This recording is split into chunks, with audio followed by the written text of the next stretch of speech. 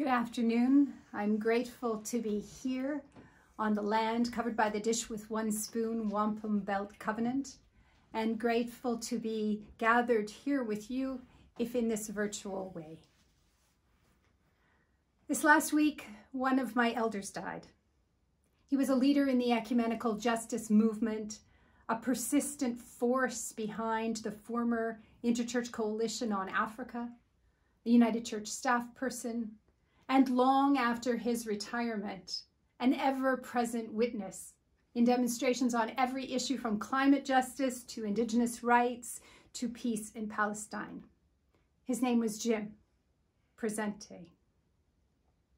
The notion of elder is something I've tried to learn from indigenous peoples and communities. It wasn't always obvious to me, particularly in my time of youthful hubris. But as the pandemic has so poignantly demonstrated, Western culture is ambivalent, dismissive, or worse, regarding the wisdom and value of elders among us. But I've learned that it's absolutely critical to listen and to learn from the elders, who through their experience, faithfulness, and persistence help define who we are as families, churches, communities, and movements. If not only because who we are and our path to the future is shaped and formed by where we've been. Elders teach us and show us the way. There is a description of history compelling in symbolic, if not precise mathematical terms, and it goes like this. If the earth was formed at midnight, and the present moment is the next midnight, 24 hours later, humans have been around since 11:59 59 p.m. Or to say it another way, in a 24-hour period, humans have been around for the last one second. That humanity is newcomer, infants in the scope of our history is an understatement. And I wonder, do we honor our elder, the earth, and all her species? Do we apprentice and disciple ourselves to her wisdom? Our precious earth, our elder, teach us and show us the way. Dominant Christianity has had a contested relationship with the natural world, Christendom in a particular collusion with colonization and industrialization. And the root of this is oft attributed to biblical texts which put humanity at the pinnacle of creation and that lean into the instrumentalization of the earth, dominion over a natural world created for our use or abuse. In the binaries of enlightenment, we now understand that natural world, body, emotions, woman has been perceived as subordinate to the products of humanity, mind, reason, man. Wild needed to be tamed. Indigeneity, women, pagans, and Christianity was a means in that taming. That Christendom became a part of the moral architecture of Earth's exploitation is a real part of our heritage. But the good news is that it's not the only part. One of the wonders of our sacred texts is their diversity. The Bible is not one book, not even a series of books but a diverse set of stories and thoughts and visions and struggles about people's grappling with what it meant to know God, Creator, and Jesus, God's beloved child. And so when we look more carefully, we find we have beautiful texts about the wisdom of creation, how it in fact is the first text of God's revelation, texts that contest the domination narratives of Christendom. Let's listen again to those wonderful words from the book of Job. There is no dominion over here, but ask the animals and they will teach you. The birds of the air and they will tell you. Ask the plants of the earth and they will teach you, and the fish of the sea will declare to you. This is also our text. And so many others that point to the goodness of creation, that point to creation as our teacher. Teach us and show us the way. And what profound things we have to learn. The waterways as creators, bloodlines, as critical to our survival as the blood pumping through our veins, watery itself. Water is life, and on its health, all of creation is dependent and connected. What a critical teaching on interdependence and relationship. The seasons that change before our eyes are a powerful assertion that change is always possible. In fact, it may be the only constant. And what an essential teaching in an indeterminable, protracted pandemic. What a comfort spring is in times of sustained grief and loss. The seeds that hold a prism of promise. What a brilliant confirmation of hidden potential that nourished and tended can flourish in beauty and sustenance. The monarch butterflies, who in their fragility migrate from Canada south to Mexico for the winter, a wonderful manifestation of persistence, a calling into question of human-made borders. Oh yes, also that caterpillar to butterfly, metanoia, resurrection. Teach us and show us the way. The diversity of creation, rehydration as regeneration, rhythms of rest and restoration, so much wisdom in evidence. Elder creation, grandmother, moon, grandfather, sun, mother, nature. Teach us and show us the way. Now, I want you to remember for a moment back to that one second of human life, that last second in 24 hours. And let's think about that second for a moment. I'm holding in my hands a rope, a rope that in its length is a symbol of humanity in this place, this turtle island, this place we now call North America. A rope of that one second in time of human presence here. And this rope depicts 10,000 years or more of settlement along the shores of Lake Ontario. This rope represents the time of three successive Indigenous peoples, Wendat, Haudenosaunee, Anishinaabe, times of intertribal gathering, time in this, the place that mattered, safe harbor, hunting and fishing, a route to the Atlantic, a passage upriver. In this time, in these thousands of years, Indigenous people learned about this place with and from their elders, relatives in creation, bear, raven, deer, strawberry, sage, and from the human elders who pointed the way back to those first teachers, teach us and show us the way.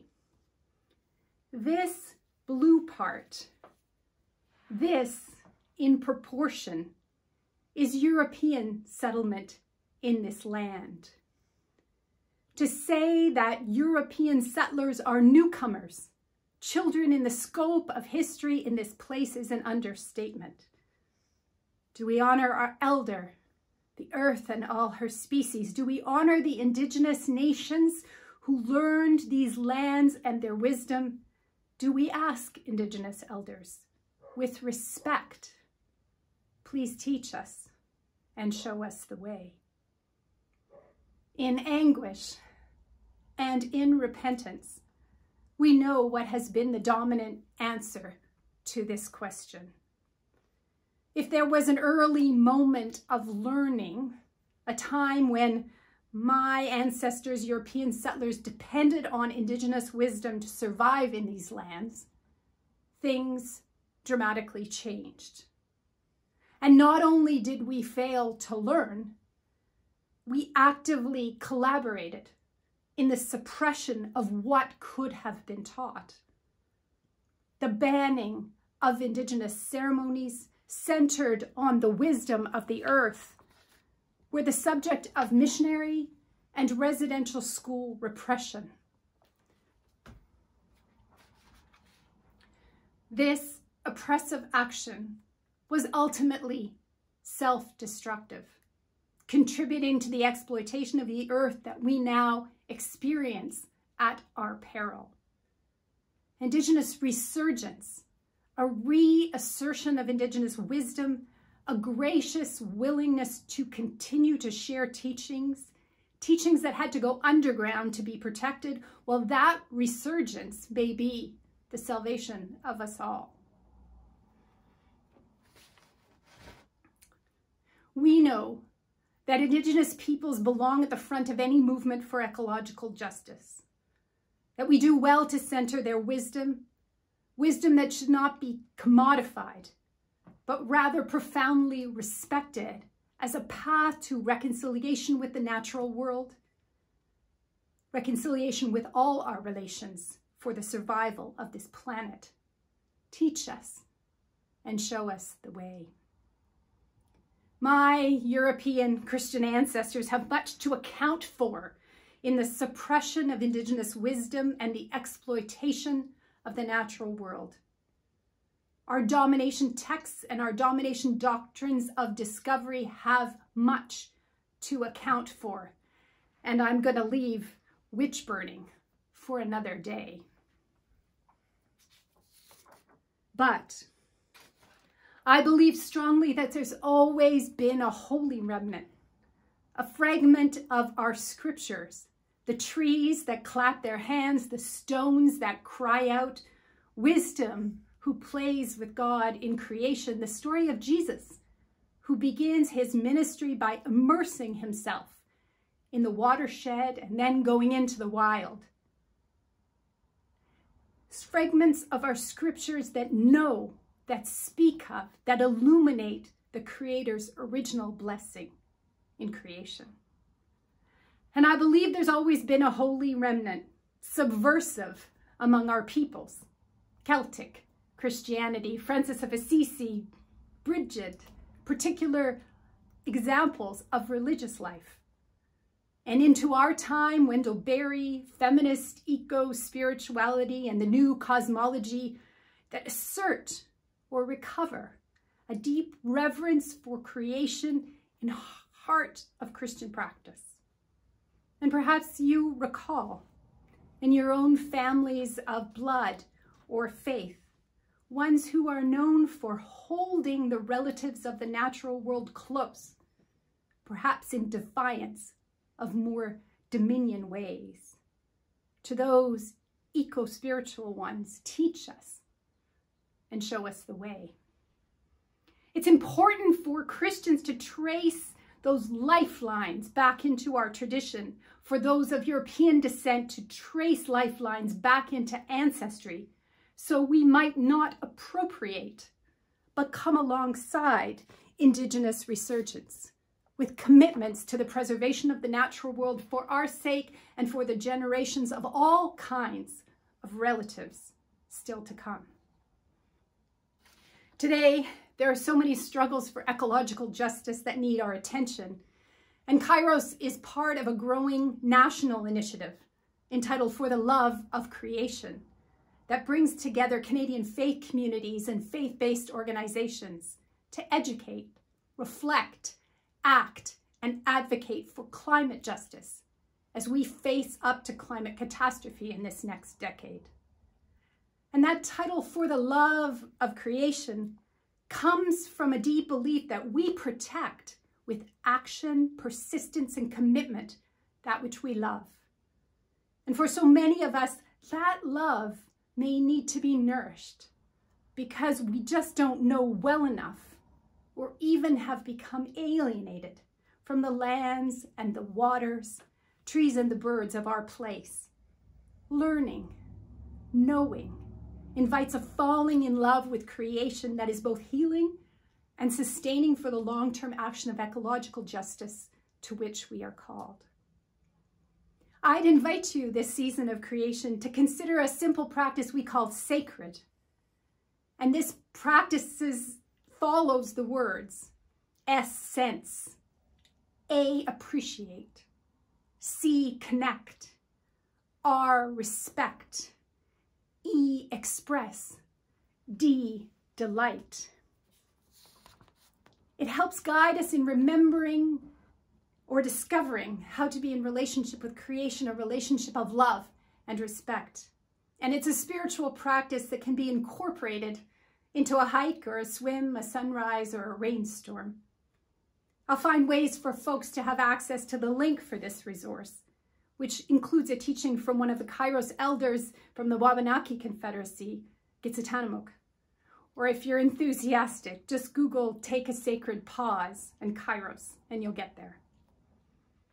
It has been my experience recently that some of the youngest among us are the most wise, that some of the youngest among us can be our teachers. Today, my elders are the created world, yes, salmon and whale, moose and mouse, blue jay and eagle, lavender and moss. My elders are Indigenous knowledge keepers and women land defenders.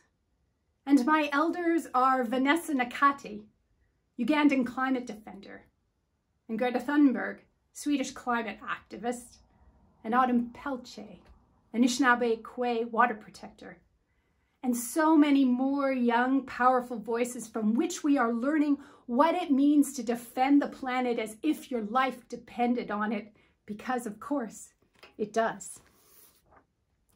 These youth, who are elders among us, teach us and show us the way.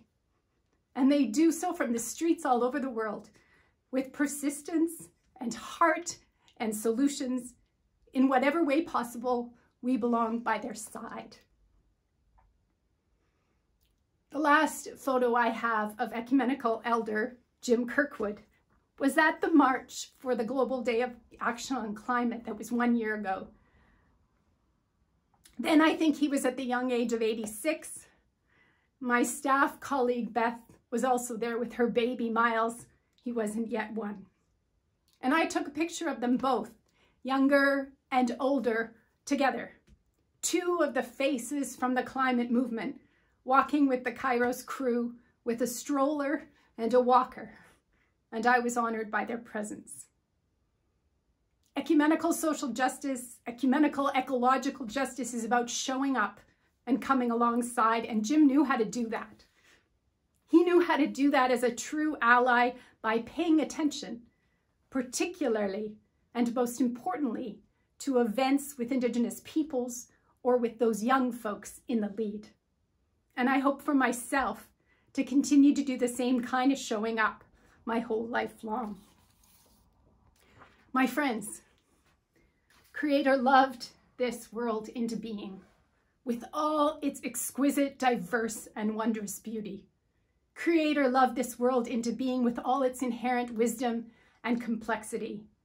And we return goodness to the Creator when we repent and reconcile with the land and the peoples of the land. We return gratitude to the Creator when we love, protect, and repair this wounded earth. And we return love to the Creator when we disciple ourselves as lifelong learners to the wisdom of the Creator's precious work. All our relations, please teach us and show us the way. May it be so.